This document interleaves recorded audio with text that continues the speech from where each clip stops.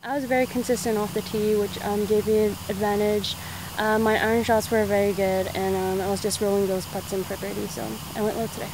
You know, I'm just going to play my own game. I'm not going to care about what others uh, shoot. Same plan as today, you know, um, my goal is to shoot under par. I won the uh, BC Women's Amateur Championship, um, which is definitely um, a confidence booster for tomorrow's round.